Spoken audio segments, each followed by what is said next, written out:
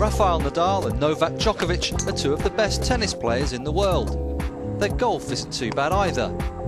The 2007 and 2008 Indian Wells champions have been making the most of their spare time this week with more than a dozen golf courses to choose from. Nadal even played a round of golf with former world number one Fred Couples earlier in the week. Don't expect anything, uh, you know, spectacular.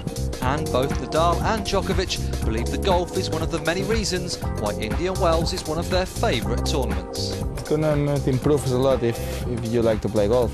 Yeah, it's uh, well, best uh, golf courses in, in the world, I think.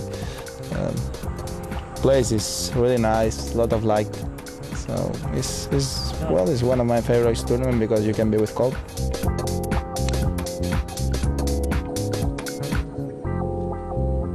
It's true. There's so many golf courses around, and uh, for the players, it's great. I think most of the tennis players love to play golf, and uh, and I think the the swing helps us a lot. But uh, we're not that great, so as you probably have the footage, we're terrible. Get in the hole! Yeah!